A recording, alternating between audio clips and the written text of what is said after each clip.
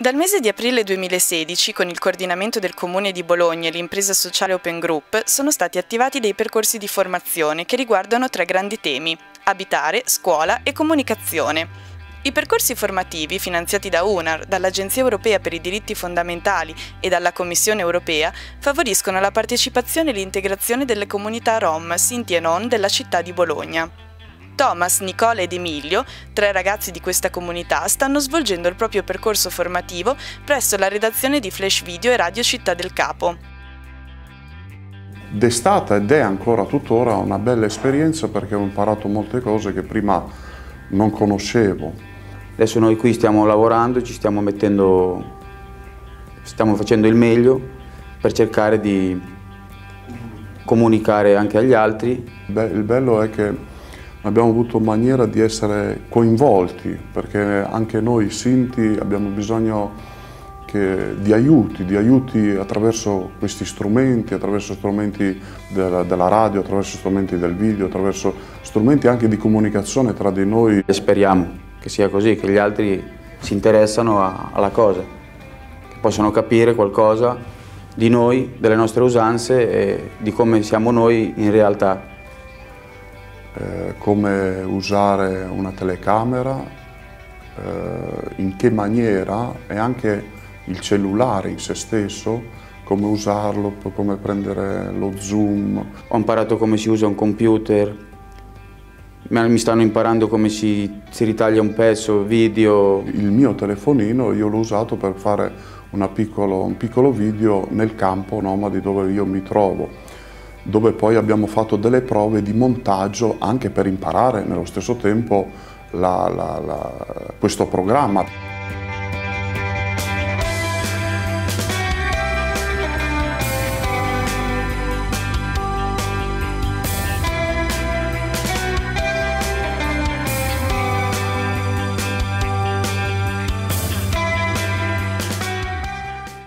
Abbiamo aperto una, una pagina Facebook e sì, eh, gruppo Sinti, gruppo libero Sinti e non.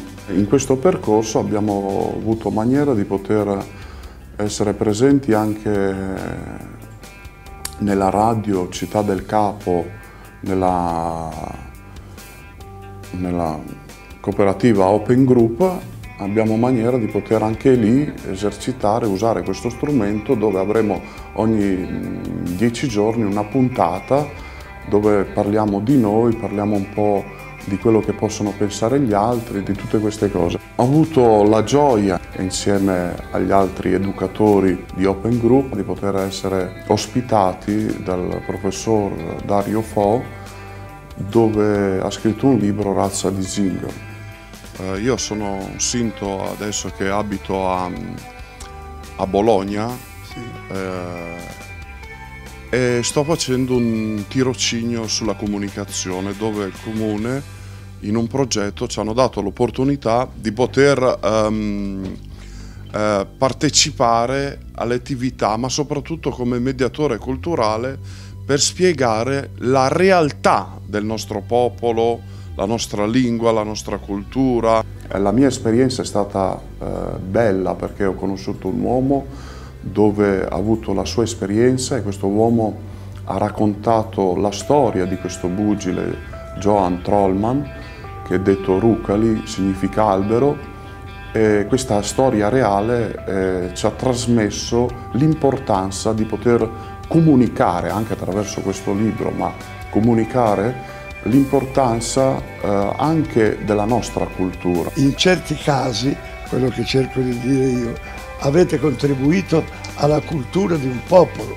Gli spagnoli vi devono molto, i francesi vi devono molto, perfino gli italiani, anche se non, non lo ammettano, vi devono molto. Ho trovato una grande esperienza anche personale di conoscere i ragazzi della redazione. Poi speriamo che ci daranno un'altra opportunità di andare avanti con questa cosa, che, che i ragazzi si, anche loro si mettono come noi in prima linea a, spiegare poi agli altri le nostre, le nostre realtà. Anche nell'ambito del nostro campo, anche nell'ambito del nostro popolo, perché vogliamo dedicarci a far conoscere la realtà del nostro popolo